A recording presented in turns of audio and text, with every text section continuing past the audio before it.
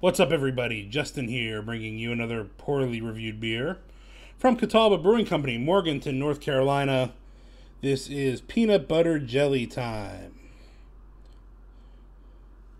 Uh, very much looking forward to this. I've heard a lot of good things about it, uh, both in person. I've seen a couple of uh, reviews about it as well.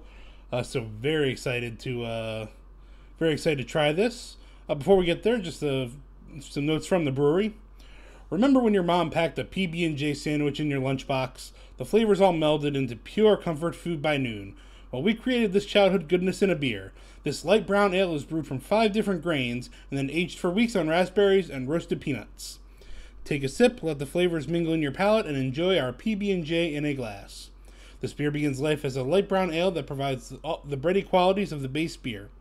After fermentation, it is rested on whole roasted peanuts and all natural raspberry puree, which truly transforms this into a PB&J sandwich in a glass.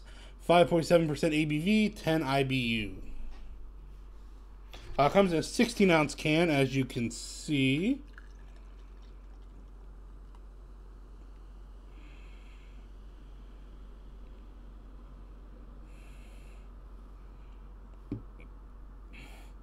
All right.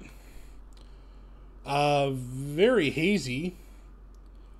And just kind of looking at it normal, it's uh I was gonna kind of follow the the trope and say peanut butter flavored, but really it's a little bit darker than that.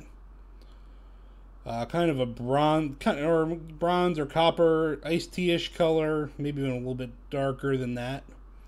Um, though the, the the amount of haze and lack of light coming through certainly plays a role in that. Uh, as I hold up to the light, um, it's pretty much a pure orange into a lightish brown color. Um, you can see the head's pretty well gone already. There wasn't much to it, uh, even when I poured it. And um, yeah, as I said, plenty hazy. I can barely, not even really see my fingers through the other side of the glass. Um, let's give it a try. I did not really take a taste there, but uh, holding up to my nose, plenty of uh, plenty of nice fresh roasted peanuts in the uh, in the aroma.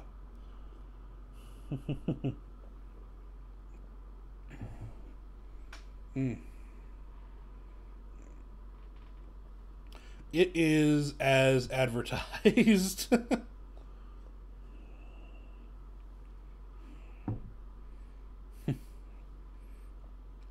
Wow, that's really good. The uh, the the roasted peanuts really kind of lead off um, when you first take the sip.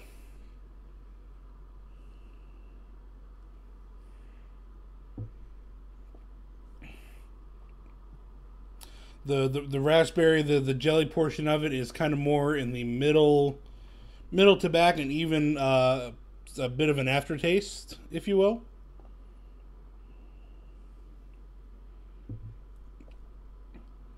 Um, wow. but uh, they nailed it, man. They, that is that is spot on. Uh, peanut butter and jelly, exactly as they called it. Well melded. Huh.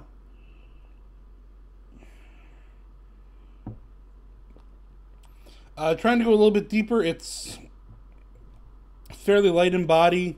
There are kind of some bready malts um, underneath as a bit of a base.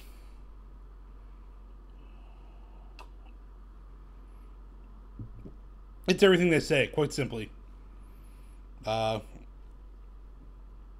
probably the only thing is there's a little bit of a a funny thing in the aftertaste.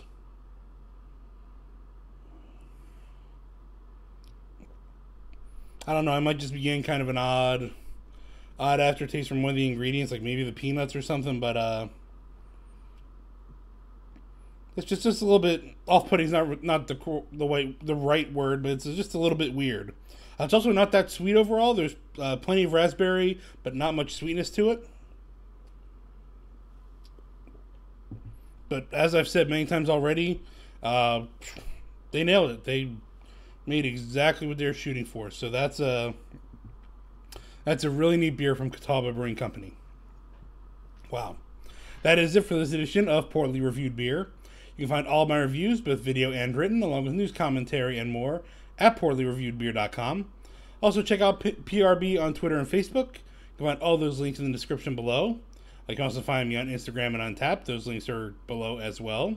If you're so inclined, feel free to like this video and subscribe to this YouTube channel. Thanks for watching. I'll see you around at Pourly Reviewed Beer.